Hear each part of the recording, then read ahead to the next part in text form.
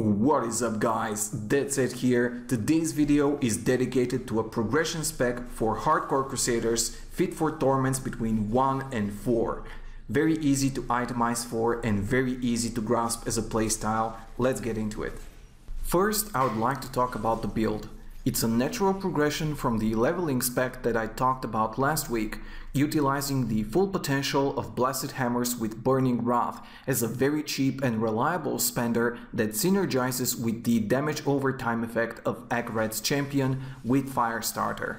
I've mentioned this before, but Blessed Hammers is a very underrated skill that gets outshined by other spenders that actually have good legendary weapons dedicated to them. Don't be fooled though by the lack of good Blessed Hammer flails. You can easily repurpose an elemental damage two-hander, for example a Maximus or a Schaefer's Hammer, to be the build's weapon of choice, of course adjusting to the fire or lightning rune of Blessed Hammers.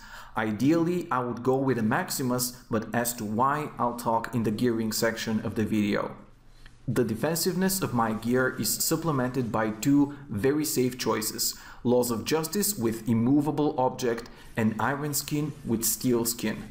Laws of Justice adds a nice passive boost to your all resistance score and with decent cooldown reduction, the active part of the skill, which adds about 500 all resistance and 7000 armor on top of everything else, will be up for every single elite fight. I use it liberally whenever I feel the fight is worth a defensive boost which would certainly be every elite fight and every Rift Guardian, but also when facing a horde of white trash enemies, where damage comes in small sizes but from a lot of directions and very quickly. Iron Skin I usually reserve for elite fights, more particularly for the moments when my Akarat's champion is not active and is still on cooldown. Since we're talking progression spec here, you'll likely have a significant downtime of Akarat, and a skill that reduces incoming damage by 50% and breaks you out of crowd control effects is of tremendous help. If you're absolutely certain in your survivability because of difficulty or your gear quality, you could swap out Iron Skin for Consecration with Shattered Ground for additional synergy with Firestarter, but since Akarat is far from permanent with progression gear, I consider Iron Skin a more generally useful skill. My utility slots are taken up by Steed Charge with Nightmare and Provoke with Too Scared to Run. Steed Charge is invaluable for the build and gear that I picked for the progression spec.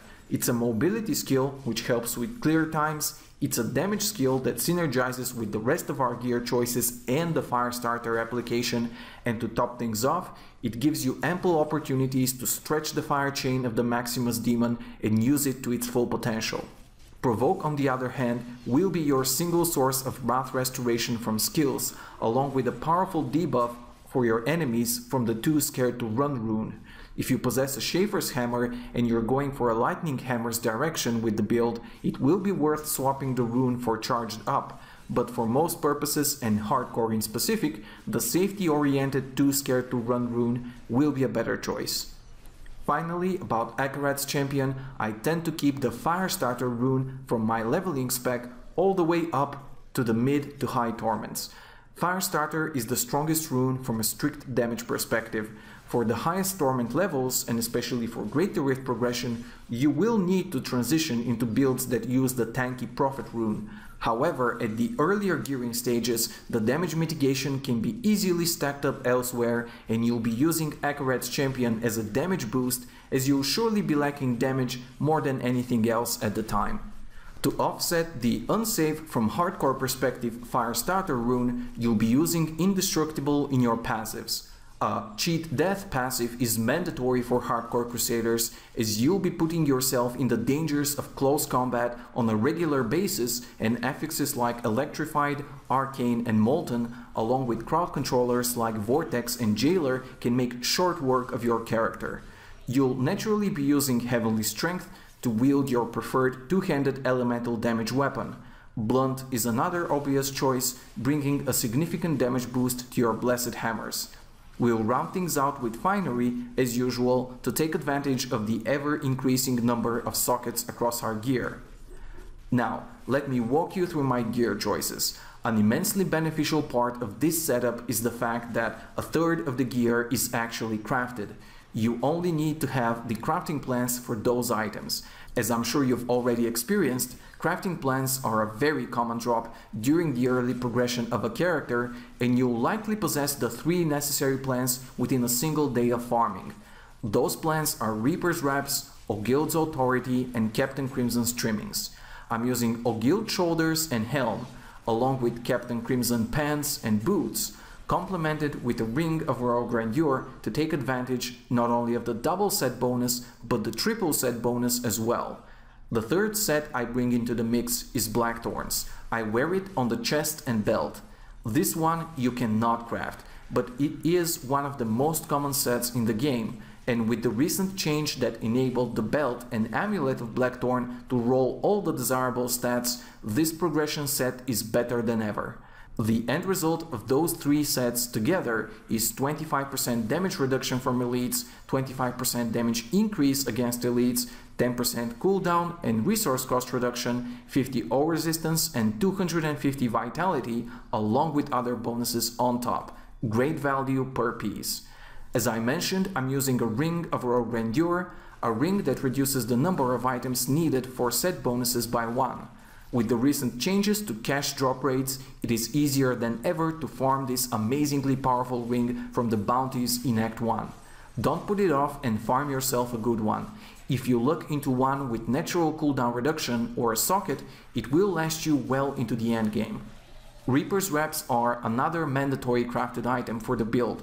As a quick reminder, the plans for those wonderful bracers drop off of Malthael, the end boss of Act 5.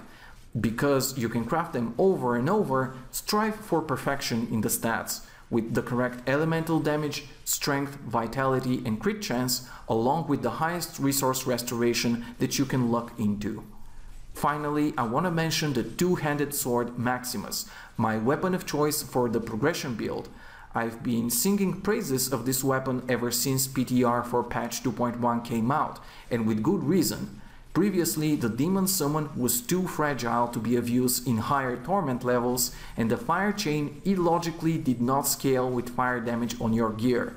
This is no longer the case. The Maximus Demon is now a tough combatant and the fire chain delivers devastating damage as long as you stretch it properly across the battlefield.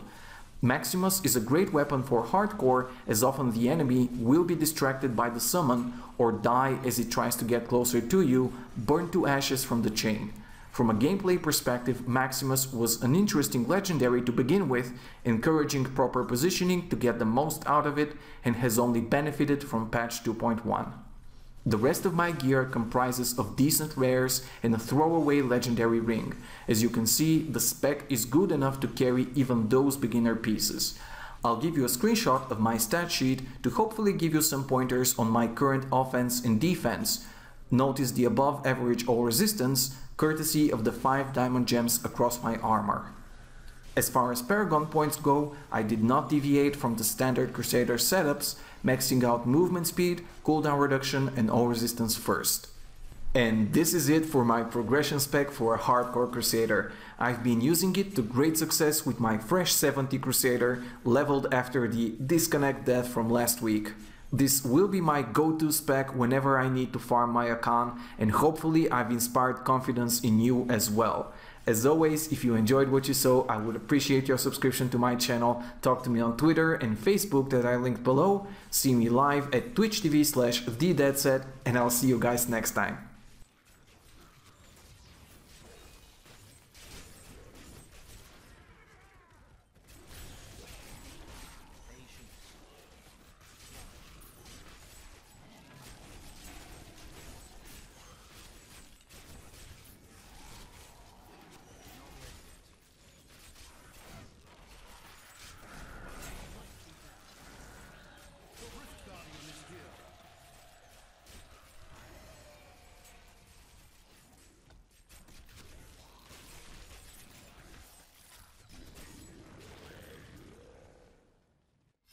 Yet.